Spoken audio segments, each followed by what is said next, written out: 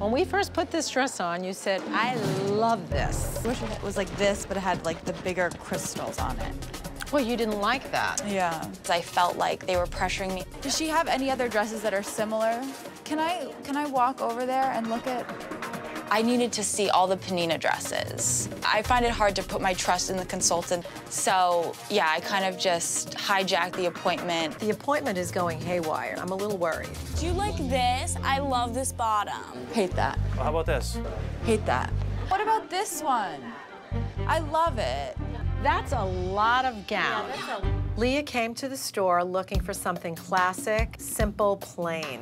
Now, Leah is a little confused, a little off focus, and I'm not sure where this is gonna go. Going to be 10,000. I don't know if she's trying to please herself or her little sister Dana.